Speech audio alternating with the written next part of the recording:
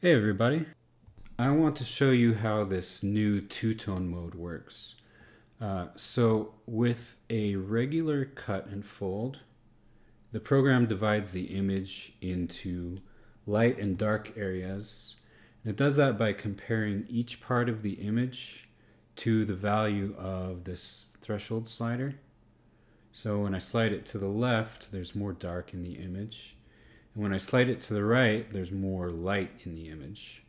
Um, so if you look at the cheese, there's a, a point where it changes from light to dark. Um,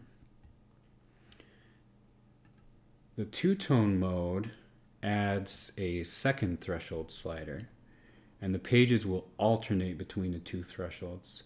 So what that does is it creates a, a third level in between light and dark, and it looks like a shadow fold. So you can see when I put one of these all the way up to 100, uh, I get a regular shadow fold. And then as I bring it back down, I start to get more black and less gray. Um, if I put the two sliders on the same number, um, I'm going to get what I would get from a regular cut and fold. But the further apart they are, the more gray you'll see in the image. Um, and if I zoom in on the gray, you'll see that it alternates from light to dark or from cut and folded to not folded, uh, just like a shadow fold does. Okay, so now let's see how this works on a photo. Um, so I'm going to look for a photograph to use. And I like this one.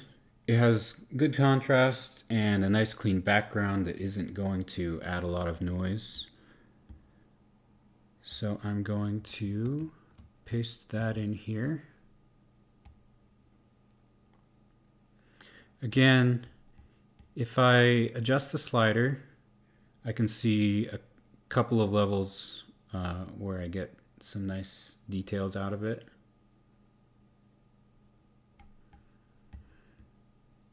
If I start there and then switch it to a two-tone, um, if I bring it all the way up to 100 and then bring it back down, back down you'll see I start to get some nice black areas.